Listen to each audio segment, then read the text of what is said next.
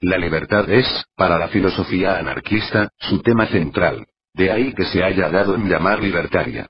Para el anarquismo, la libertad constituye una conquista vital y social. La cuestión no es tanto que el ser humano sea libre de forma innata, sino que precisamente encuentra los caminos para ejercer su libertad porque es la característica primordial de su existencia.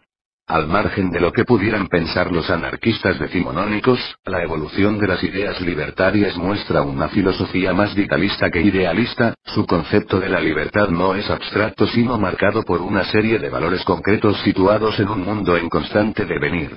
En la línea del pensamiento de Albert Camus, es el ser humano, también en la vida social, el que se muestra capaz, o no, de otorgar sentido a su existencia. La vida queda marcada para el anarquismo, en suma, por un esfuerzo constante de liberación.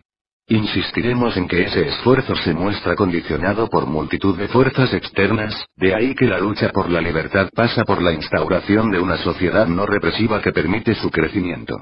Hay quien ha definido, y no podemos estar más de acuerdo, el anarquismo como una práctica de liberación, formas y tendencias del anarquismo, René Furt. No se cae en ingenuidad alguna, se es consciente de que el individuo puede caer, y lo hace demasiado a menudo, en una inercia contrario a todo compromiso liberador. Un motivo más para insistir en un concepto positivo de la libertad, en la construcción de una sociedad con las condiciones adecuadas para ejercerla. Como ya se ha insistido numerosas veces, la libertad anarquista nada tiene que ver con la preconizada por el liberalismo, más propia del individuo aislado y necesitado para ejercerla de la explotación de sus semejantes y del privilegio económico. Recordemos, una vez más, las palabras de Bakunin. La libertad sin socialismo es el privilegio, la injusticia. El socialismo sin libertad es la esclavitud y la brutalidad. Antes de eso, el propio Proudhon ya dijo que la libertad aislada, sin vida social, produciría aún menos sociedad que bajo cualquier otro sistema. La libertad del anarquismo va estrechamente unida a la solidaridad, al apoyo mutuo. La libertad personal, la autonomía individual, no se relega nunca, se elude toda cohesión, pero se recuerda constantemente la necesidad de la vida comunitaria. Por otra parte, solo la práctica de la libertad genera una mayor libertad, por lo que cualquier sistema autoritario es incompatible con el anarquismo.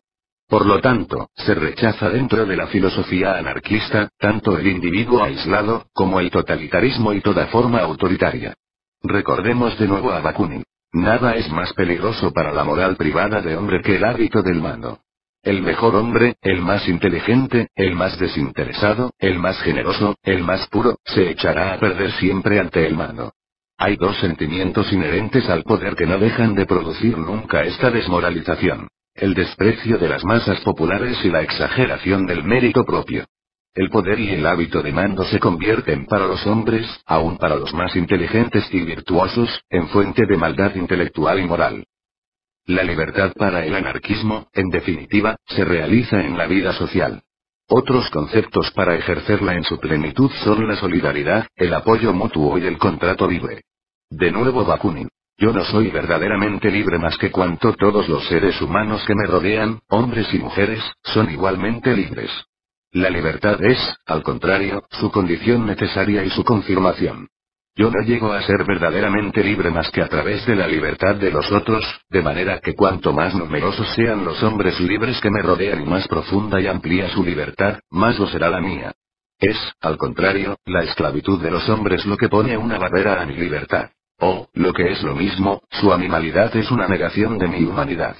La libertad, pues, es cosa complejísima, y antes que nada eminentemente social, ya que solamente en sociedad, y dentro de la más estrecha igualdad solidaria de cada uno para con todos, puede realizarse. Adelantándose a lo estudiado tiempo después por la psicología social, Bakunin nos recuerda que cada hombre que conocéis y con el que os relacionáis, directa o indirectamente, determina vuestro ser más íntimo, contribuye a haceros lo que sois, a constituir vuestra propia personalidad.